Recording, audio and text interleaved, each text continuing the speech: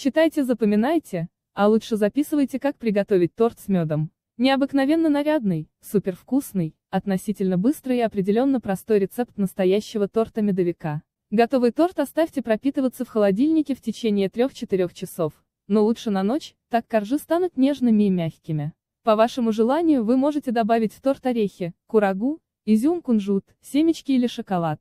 Для этого при формировании торта посыпайте вашей любимой начинкой крем. И можете не переживать по поводу того, пропитается ли ваш торт. Рецепт построен с этим учетом, коржи супер тонкие, а крем нереально вкусный и густой. Поверх украсьте торт паутинкой из шоколада.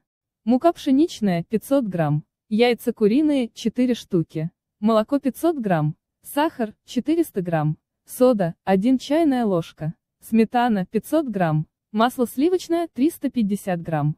Мед 3 столовые ложки. Ванильный сахар 10 грамм. Количество порций 6, 8. В кастрюлю вбейте 2 яйца, всыпьте 200 грамм сахара, добавьте мед. Поставьте на водяную баню греться все ингредиенты, слегка помешивая венчиком. Добавьте 100 грамм сливочного масла и соду.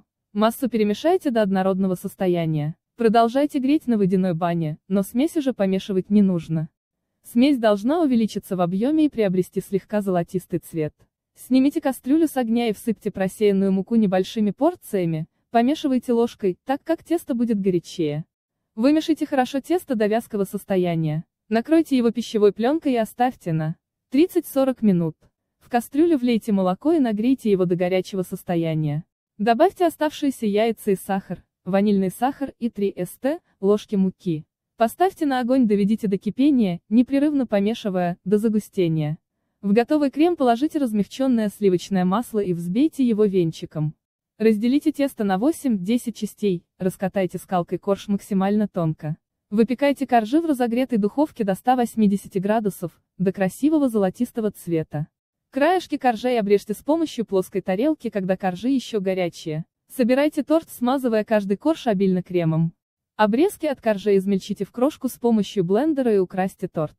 Приятного чаепития!